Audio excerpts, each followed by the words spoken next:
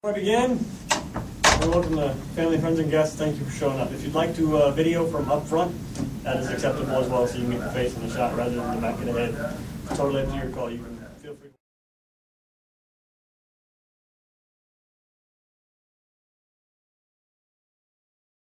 Separation policy and restrictions on personal conduct in the armed forces. Yes, sir. You have been briefed on UCMJ Article 83, fraudulent enlistment, Yes, sir. Article 85, desertion, Yes, sir. and Article 86, absence without leave or unauthorized absence. Yes, sir. Does anybody have any questions or any reservations about enlisting in the military at this time? No, sir. All right, during the oath, you're going to have some options. At the beginning of the oath, I'm going to say the phrase, do solemnly swear. You can respond with do solemnly swear or with do solemnly affirm. Uh, Either is acceptable. At the end of the oath, I'm going to say the phrase, so help me God. That is completely optional. You don't have to repeat that one at all, and the oath is still valid. Everybody okay with that? Yes, sir. All right, let me be the first to welcome you to the United States military. Thank you, sir. This is where it happens. Y'all ready? Yes, sir.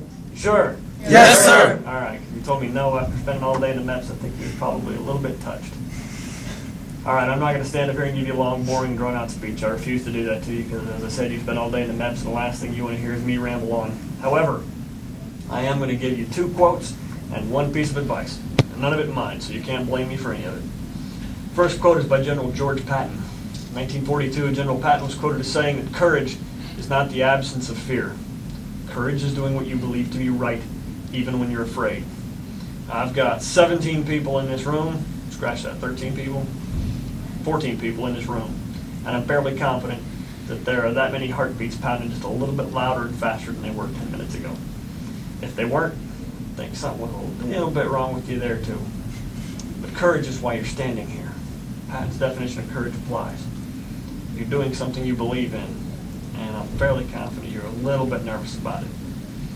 Do not ever hesitate to believe that this is a courageous act. It is. You're enlisting in the military, and you all know exactly what that means. So it is a decision you should be applauded for. Second quote is by a personal hero of mine. He was a Marine named Lance Corporal Edwin L. Kraft, who was stationed in Khe Sanh, 1968.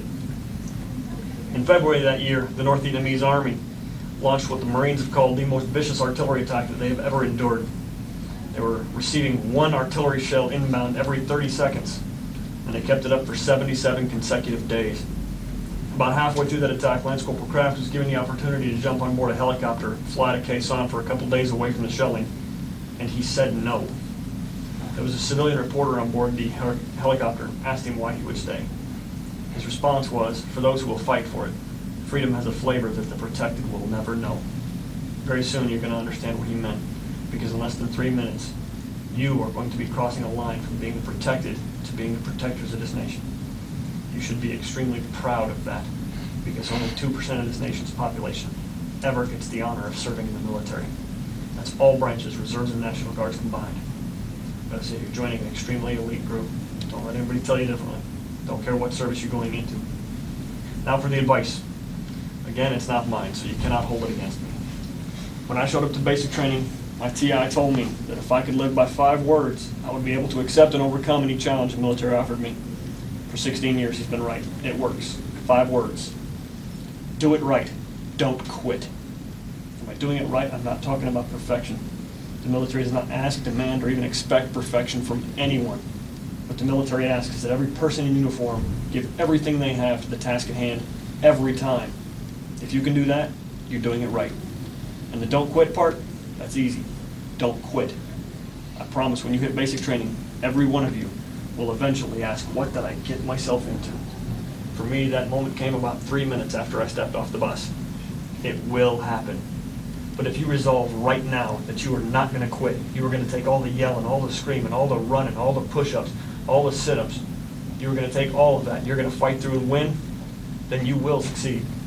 You've already proven to everybody who counts that you have everything it takes to be successful in the military simply by your decision to stand in this room. Because I know what a hard decision it was to make, and I know what it takes to make that decision. So you should all be very, very proud of that as well. Does anybody have any questions before I administer this oath? No, sir. Y'all just ready to get this done and get out of the MEPS? Yes, sir. All right. Applicants, stand at attention. Raise your right hands and repeat after me.